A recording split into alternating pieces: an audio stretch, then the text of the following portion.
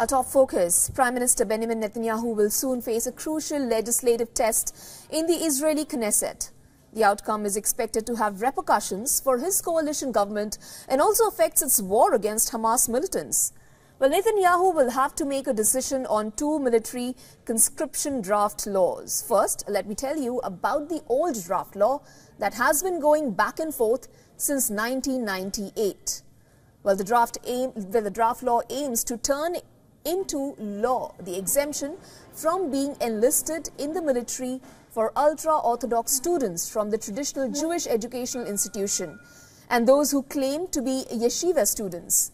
Although 26 years ago, the Israeli Supreme Court had ruled that the exemption was unconstitutional as it discriminated against those who did enlist themselves.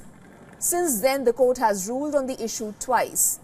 Most recently in 2017, when it said the laws passed by the Knesset so far did not solve the problem.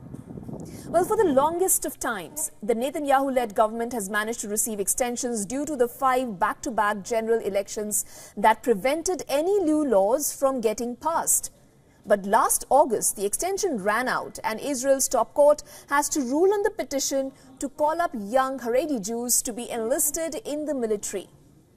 Now, although last week the government sought another week-long extension, it was the fifth of such requests before they can respond to the petitions in the court. The Netanyahu-led government will have to respond to the petition by next Thursday. Reports suggest that given Prime Minister Netanyahu's dependence on the Haredi parties to stay in power, drafting yeshiva students in the military will spell an immediate end to his governing coalition.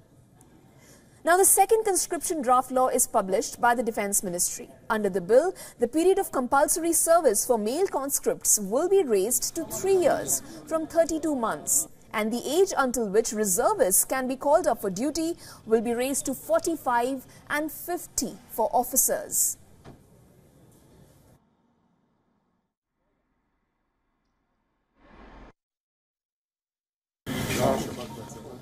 For all the latest news, download the WION app and subscribe to our YouTube channel.